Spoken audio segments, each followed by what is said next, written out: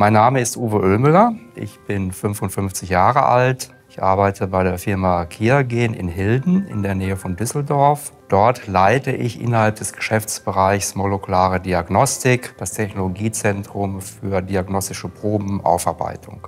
Die Molekularbiologie ist eine junge Disziplin. Sehr typisch für junge Disziplinen ist es, dass die verschiedenen Labore das alles unterschiedlich durchführen in den Arbeitsabläufen. Das war auch die Situation vor der Standardisierung. Man weiß aus Studien, dass die Präanalytik etwa 50 bis 70 Prozent beiträgt zu allen Fehlern, die in diesen Analysen auftreten.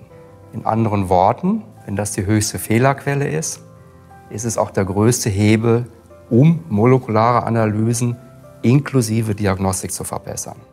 Wir haben ein Konsortium gebildet, das aus 16 europäischen Partnern aus 11 europäischen Ländern bestanden hat. Innerhalb dieses Konsortiums haben wir die Standardisierungsaktivität auf den Weg gebracht, innerhalb des Europäischen Komitees äh, für Standardisierung CEN und äh, dort diese Standards entwickelt über einen Zeitraum von drei bis vier Jahren.